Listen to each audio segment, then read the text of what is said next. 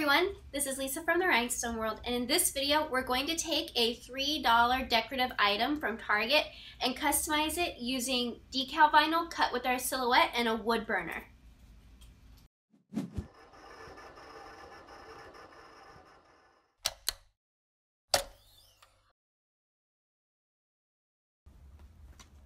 I've cut out my design now what's different about this is that we're going to peel out the inside to make a stencil. Typically you're going to peel everything around it and then keep your text, but what we're going to do is we're using this as a stencil, so we want to take out what we want our design to have. So I'm going to find this. And you can see even these little small lines are peeling well. That's a good reason to test your cut settings. And you can see this little tiny part came out. That's okay. We're just going to drop this down and then put this little piece back on there. And this happens a lot. If you're weeding for a decal, you can do something called reverse weeding, where you pick up the whole thing with your transfer tape and then weed everything out. That way these little pieces will stay better. But this works just fine. All right, so we're all set there. Now let's grab this piece. And I have another little piece in here that might come up, so I'm going to hold it down with my weeding tool.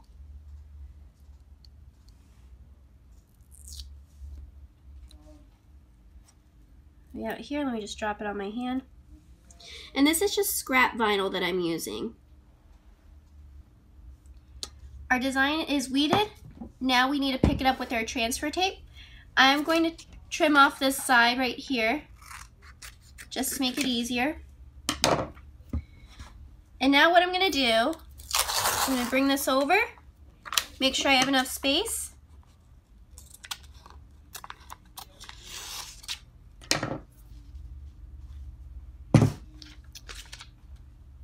And to apply it, I'm gonna do a little horseshoe, drop it over, and then I'm going to use my scraper Mm. I can't find my scraper, so I'm going to do this.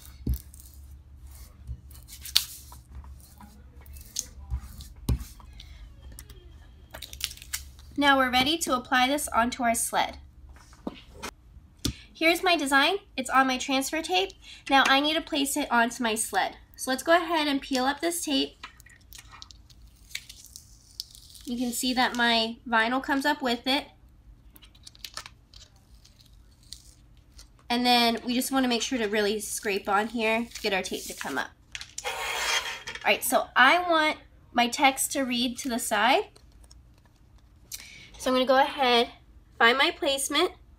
And the one thing that I really want to look out for is that I want the end, I want my the to be on here, and I want the ends of my letters to be on the wood. That way it'll define it. So you can see right here, it'll cut off a little bit in these areas, but overall you'll be able to see your design. You could even angle it if you want, and I think it's too late for me to do that. Yeah, that's okay. So we're gonna do it this way. Really smooth it down. We're gonna go ahead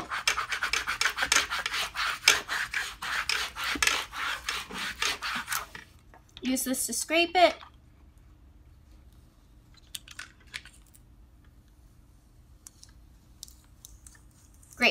So we have that there. So now we need to make an area to mark where we're going to use our wood burner. And that's where this chalk comes into play. I'm just going to go ahead and color in on here. And the chalk will fill in where we need to use our wood burner. So we really are using this as a stencil. Just make sure you get a good coverage on here. The chalk will wash off after you burn it, so you don't have to worry about you know, putting too much or damaging it.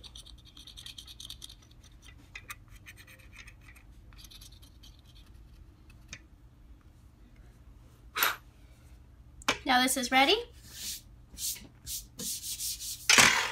I'm going to peel it up and we can see where our chalk is.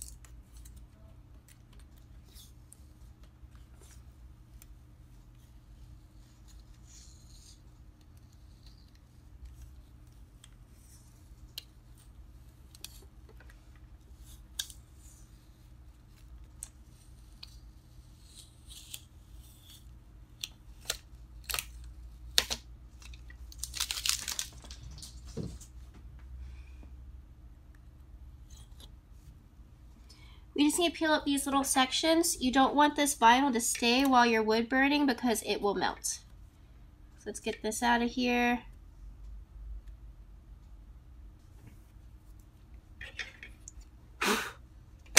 So I have my chalk stencil here. You can see the places that I need to color in.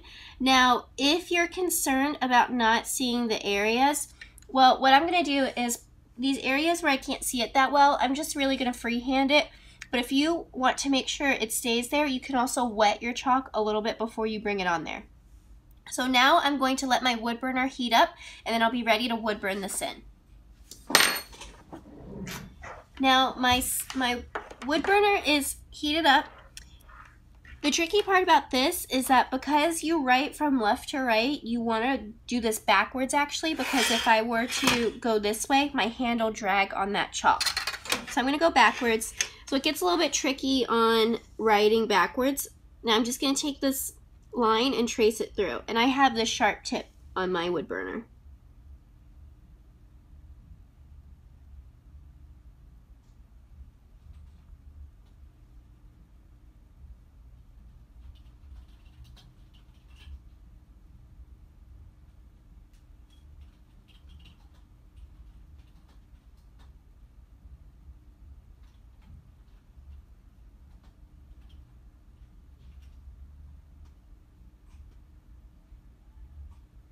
And I'm just going to follow this through the, through the whole design.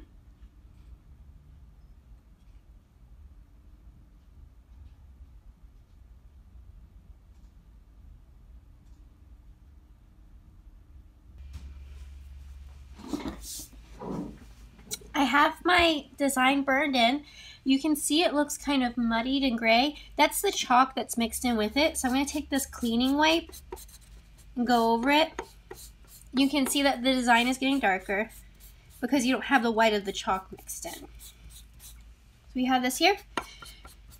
Now you can go in and burn other sections to emphasize it more. You can see it can even out in a couple places, so just let this dry a couple minutes and then you can go over it with your wood burner one more time. So you can see I have a nice burn here. There are a couple darker spots. That's kind of where my wood burner got caught in where the ridges are. So I have my wood burner warmed again and I can just go over it and get some sections darker. Kind of emphasize it. You'll get every now and then when you do your wood burner, you might miss a section just because the chalk could be mixing in with it. So it's hard to tell if you're really burning it or if you're just moving chalk around. So I'm just going to go through darken up some sections.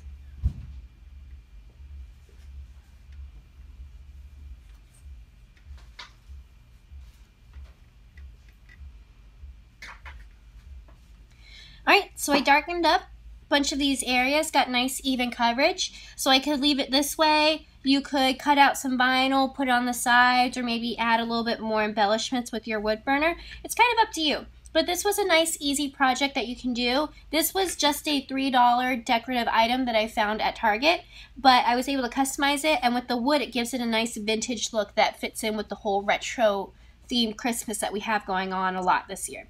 So if you have any other questions, you can email us at info at therhinestoneworld.com. And if you want to look into any other tutorials or training opportunities, give us an email or visit our website at therhinestoneworld.com.